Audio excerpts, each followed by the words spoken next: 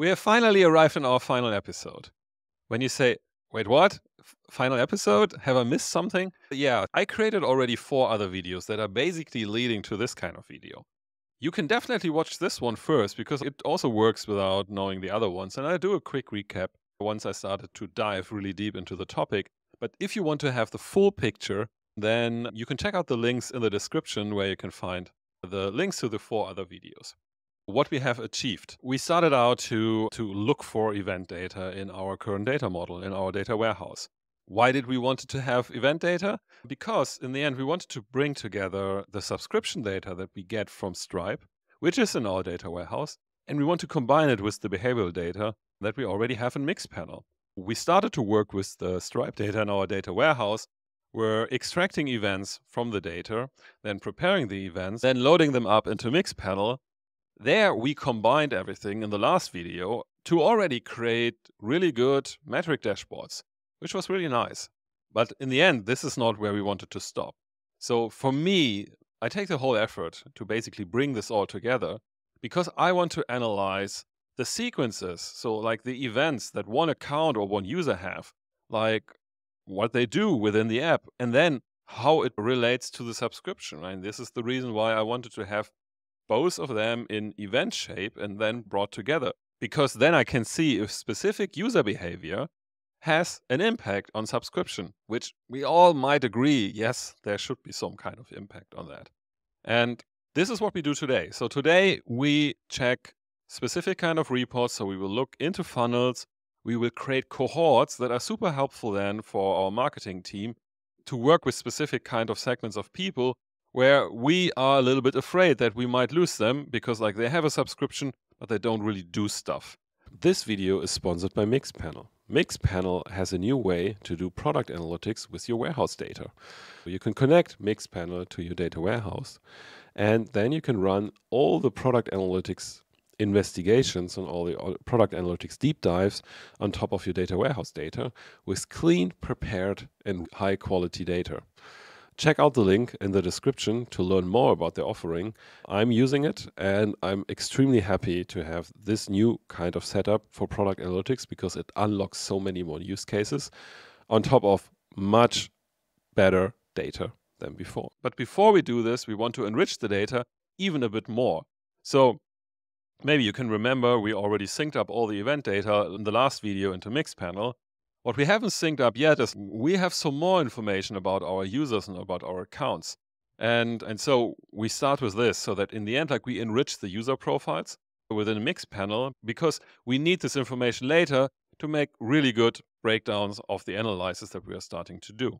Let's start with that, but I will quickly start with a quick recap what we have achieved so far, and then we jump into enriching user properties, and then we do proper analysis. So let's go. Okay, so to quickly recap. The last video, as you can see here, so we have different kind of event types already in our system. So these like board closed, board created. Again, we are still talking about a whiteboard app. And so we have specific kind of events from that that are basically collected, that collect the behavior within the application. But then we also have the subscription events that we have here that we synced up from our data warehouse. And so this is the place where we go now too.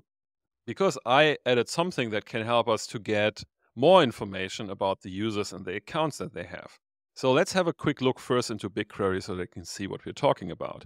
I have another table that is new in the data model, which in the end takes some information from the subscription and also like from backend systems and prepares them into user properties. So how does it look like? Let's have a quick preview. We need the user ID because this is how it matches up in Mixpanel. So this has to be the user ID that we also use as an identifier in Mixpanel. So in our case, it's our user ID. So of course, like this matches in the end. What I decided to bring in is so I have some information about the country where this account basically is coming from, where they're registered. And then I have the information about the marketing source. So this is something that we save when people are uh, signing up for their account. So we save the last touch point before they sign up. And so this is helpful for the marketing team to analyze which kind of campaigns are bringing the people into subscription. And then in the end, we have a subscription type. So subscription type is important for us because like we need to know who is on a paid plan right now and who is on a free plan. So we can derive this also like from the events. We could, for example, build a segment on that to see, but in the end, I always like to have this also as a user property because it's usually a lot easier to work with this. As you will see in a minute, it's pretty easy to sync up user properties constantly into Mixpanel to enrich our user information. Okay, so this is what we want to do. So we want to get this information into Mixpanel, so to match it up with the existing users, which are there. Let's go back. And we do it in the same place where last time we already added our event data. So we go here into project settings. Then again, we have the area with warehouse data and warehouse sources. So warehouse sources is still, it's the one that we already created. And then warehouse data is in the end what we have here. And so the only thing what we have to do now is we create something new. So in this case, we don't create an event table. In this case, we create a user table. The difference is that, as I told you, is like we are not looking for events, we are just looking for additional user properties that get matched with the user information, which is already in Mixpanel. Again, we pick the source, so we have this one. Then we pick our table, which is this one. No. Then we pick our data set, which is this one. And then we have the user properties, and so again, like Mixpanel already starts to analyze the, the, structure. And so by that, for example, they already recognize, okay, the user ID is our distinct ID. But we definitely need the user properties. So we look for the JSON properties, which are our user properties. And as you can see here, so this is really nice. I really love the preview here. Here that you can already see that what was before a JSON object is now basically split up into three new properties that we have, which is great. We get this kind of information. Then we can make a decision how we want to sync it up. We have three different sync modes. And so time-based means it's basically the same like with the events. This will just sync up the new record. So this means we just get information about new users. Doesn't really make sense for us because like we have things that can change. So for example, subscription type can change over time. Yes, marketing source country should be static because unless someone changes their country. Marketing source is static because we save it at the point of time when someone signs up especially like subscription type is something that can change. And so time base is definitely not something we are looking for. Full sync is in the end like we rerun the import every time, a full import, and we override everything. So this is definitely something that is better for us because this makes sure that this kind of type is basically always applied. We go for full sync. We could also just do one upload at a time when we just want to do it now. But uh, in our case, like full sync totally makes sense. And then we can decide so in the end, like right now, the only frequency when we want to do full sync is like on a weekly base, which is totally fine for us. So we create this. And again, import is running. And as we know from the other one already, it's pretty fast. So as you can see here, so this is already like the import process is so the import is in process and we have it ready. So as you can see here, it was two minutes in the end, so not really long. And if this is now on, let's say we have a full sync, it works weekly, weekly so it just runs in the background. So you, you will not really even recognize it. It's just for the first time when you wait for it, then you're like, okay, uh, how long will it take? But two minutes is, is extremely fast to do. We have the new user properties in there, which is great. Here you can already see, even when you don't have additional events that you want to load, uh, into Mixpanel, you always find additional user properties. And if you work a lot with Mixpanel, that properties can do real magic. So they can enable you to to make really interesting breakdowns of your data.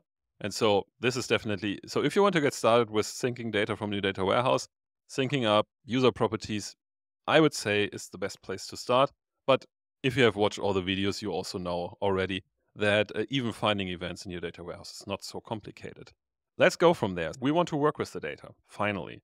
One thing that's definitely interesting for us is because now we have both together. We have the behavioral data and we have the subscription data.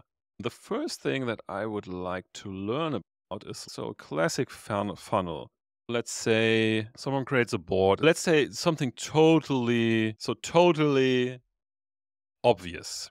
In the end, like someone creates a board and then at some point they create a subscription. And this is cool, but if we look at the data, it's not cool. Okay, background. This is a demo data set, so it's generated. And of course, like the demo data set, it, it's based on real behavior of a, a whiteboard application. So it definitely makes sense. But so if this would be my application, I would definitely be concerned because we have about 56,000 boards that have been created over the last 12 months.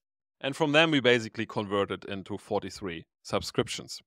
It could be that we were just, let's say, as, as a hypothesis, so it could be that we were running a long time on a free product because, like, we wanted to get market traction, so we wanted to get a lot of awareness. We gave people access to our product for a long time before adding a paid plan. So this is definitely reasonable so that in the end, like we are now just starting to create subscriptions. But if like the subscription would already work longer, then of course, like it's concerning. But in the end, first of all, it's not about if, let's say, product should be scared a lot. It's more about, okay, now we have really this nice possibility so that in the end we can create different kind of funnels. So we could even say maybe people should at least share a board to some degree, or let's look at that. And so again, so we can see, okay, look, so many people create a board, so many people share it. And in the end, like we, for example, can say this is a point of time where we say, okay, people understand the value of it. And then again, to see how many subscriptions are adding up for that. This would be like a main funnel that I would use to ch- always check over time if, let's say, our product in general is in a healthy state. So if this would be my product, it would definitely not be in a healthy shape. Shape, but again, so we are talking about a fictitious data set. And so there it's totally fine that when subscription created lagging a little bit. But anyway, so this is a good starting point. The nice thing when you add the subscription data to your behavioral data that you can always create this full customer journey funnels. And in the end, this is a product, for example, where you don't first have to create an account. So you can test it out. It's like Miro or any kind of other tool. So you don't even need an account to get started. But for example, if we would have this, then we would have even account created here in the front of it. And then we have a full journey of it. And so we have then subscription created. And then, of course, we could also add a subscription renewed and at some point also like subscription canceled to really see the whole customer journey as one funnel. In all the projects that I'm working on, I usually have one dashboard that really covers the whole customer journey and then it breaks it down by by interesting insights. Because if I have a full customer journey, I can, for example, break it down then by interesting information. So, for example, like the marketing source. As you can see here, the marketing sources are pretty equally shared between, let's say, at least like from percentage wise, they perform pretty similar, which definitely is a good reminder to at least add some more randomness into your data set.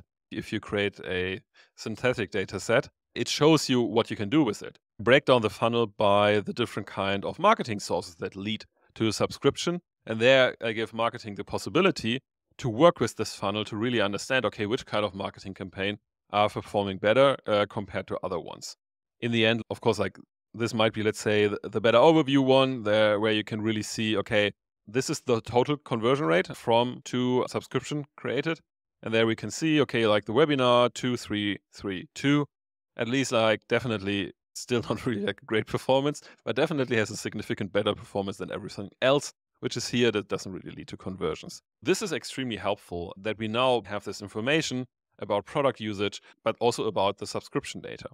This is step number one. Let's do something else. Speaking of marketing team, we want to help the marketing team. So this was one of the reasons why we wanted to combine these data because we want to help our marketing, customer success, or growth team to basically help us to improve the customer journey. And one thing where they definitely want to look at is are we do we have users which are at a churn risk? As you can see, we haven't had so many subscriptions yet, so we want to hold them very close to us so we don't want to lose them. So how can they do this? So what we can do is we can create a cohort. Cohort means is like we we take a selection of users that do specific kind of things. So where we define specific kind of criteria.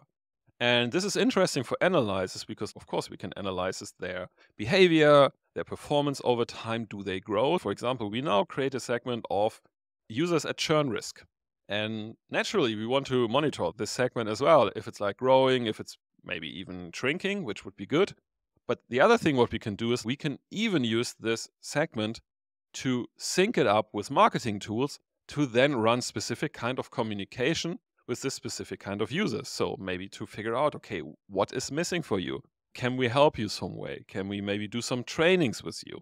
And so on. So we have different kind of possibilities. And this is really great because we create an insight. And on the other hand, as a next step, we can immediately apply an action to that. We start that by creating a new cohort. So we call this churn risk users.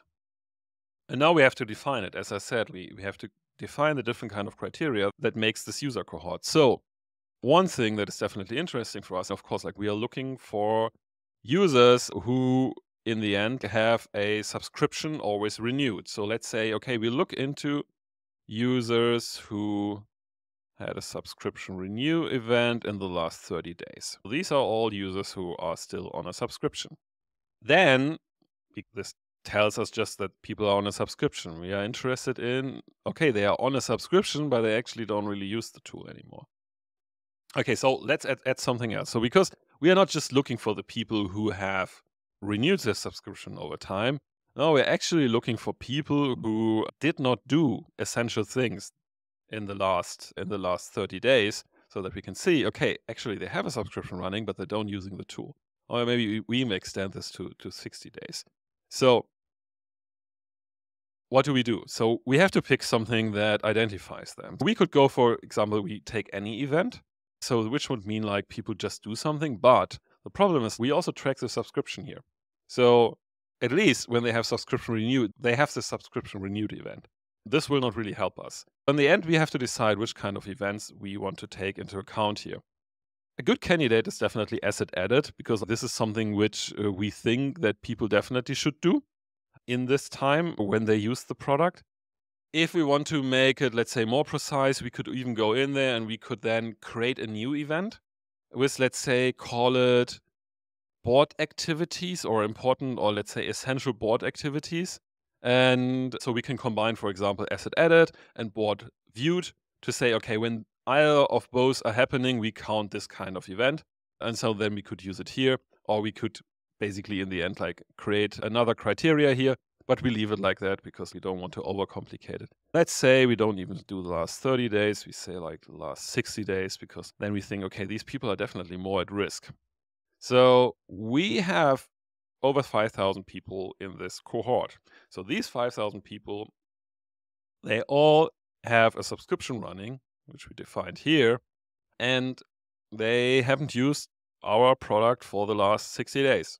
At some point, they will look at their credit card items and they will see us and they will think, I don't really use them anymore. And so they might cancel us. So they are definitely at risk. It's extremely good to monitor them. And so what we can now do, so we have created the cohort and just to quickly show you what you can do with it, here you can select an event, but what you can also do is I can select a cohort and can basically check them over time. Here we can see now how many users are actually over time at churn risk. And as we can see, we are definitely driving on a lot of users which are potential for churn. And so we can start there and then we can even we can monitor if they actually really churn or not. So we can really learn how our churn risk criteria are, if they're really good or not. So this is extremely helpful. But where I wanted to end up is, as I said, we can help the marketing team to start to reach out to this kind of users to understand why do they actually don't use the product anymore.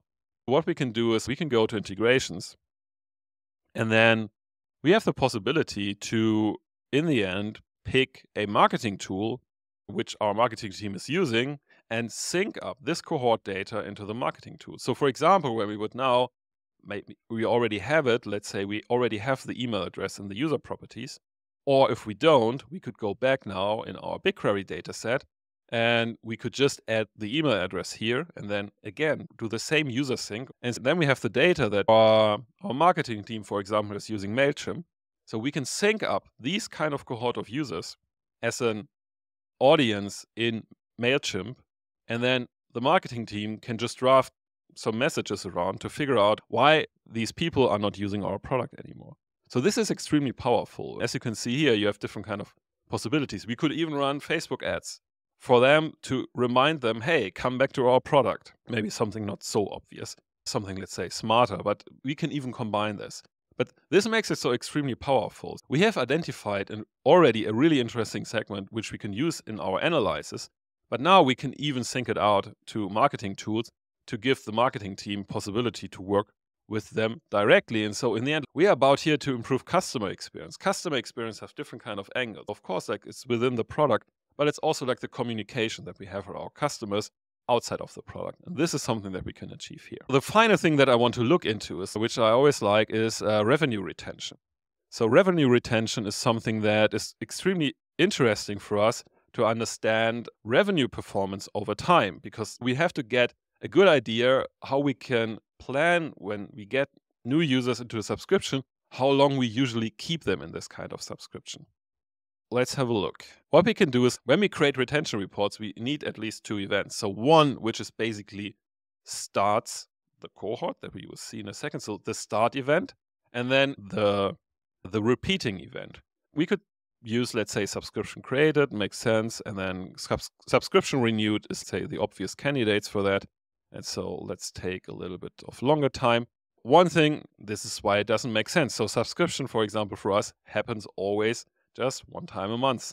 And so, right now, we check the whole retention on a daily base. As you can see here, retention criteria is on a day. So, we have to switch this to months, and then it all makes more sense. And as you can see here, so this totally makes sense because we choose subscription created as an initial event, and then subscription renewed as the follow up event. We could also have used subscription renewed as the first kind of event, then we would start at the, at the first renewal, which is not really totally true. So for us, it's better to start here because here we can already see that at the moment, 15% of our users stop their subscription when they just started it and don't get to the first renewal which might be okay. 15% is definitely okay, but in the end, it's something we can investigate. So, why we actually get people in a subscription and then at least we lose 15% already. And but this explained why we start here because like in the first months there will be no subscription renewed because we are at the moment run on a monthly renewal. So it at least like takes one month to have the first renewal. And then we can see is like over time we have to have more data or more months but let's say we might flatten out somewhere maybe at 10%. So let's say over 12 months, we keep 10% of the users that we got.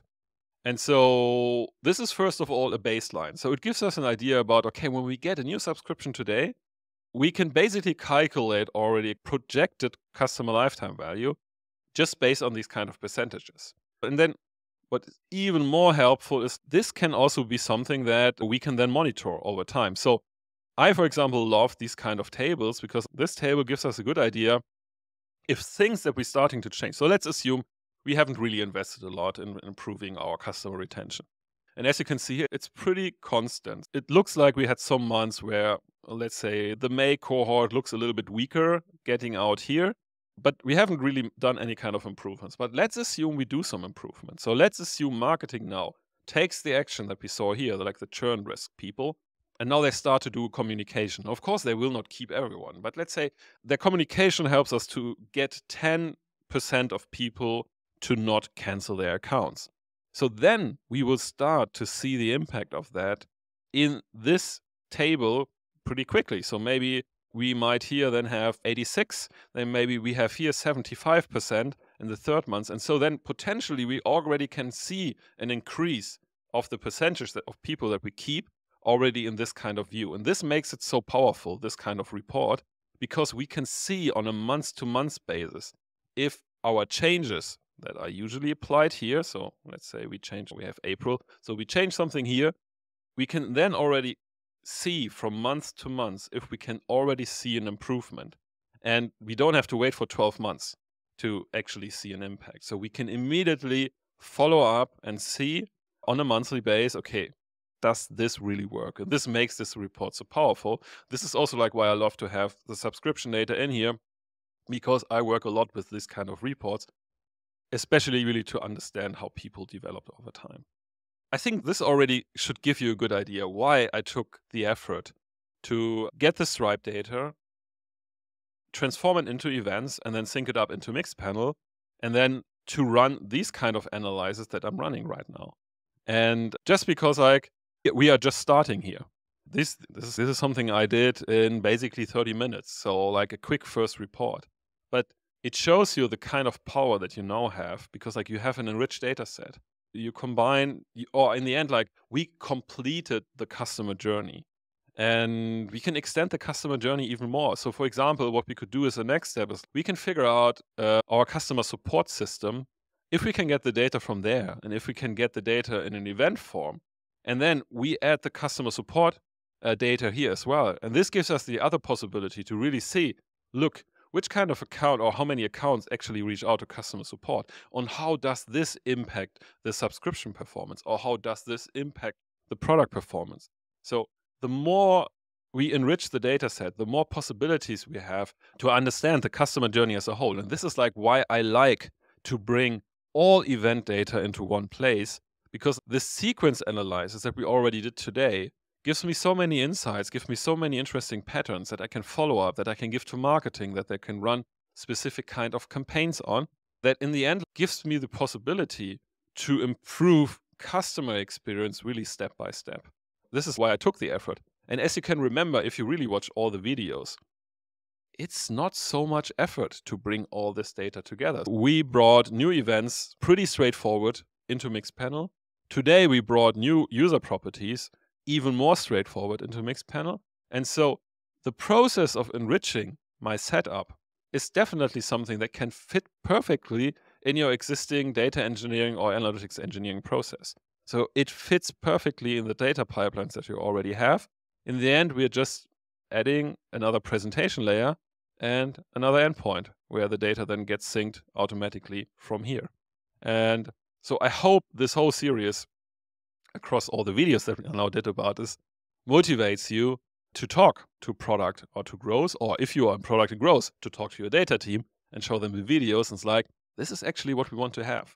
So we want to have enriched data sets because enriched data sets unlocks so many more insights, unlocks so many more potentials to identify interesting patterns in the data that then helps you to make better decisions and to improve the customer journey. So I hope the whole series was helpful for you. I will follow up in the next videos and pick specific topics around all these things about event data in the data warehouse, about enriching data sets with warehouse data in product analytics. So I will pick specific kind of topics. So make sure that first of all you subscribe so that you don't miss these videos. And also I'm always very happy when someone likes my video. So please give it a and see you in the next video.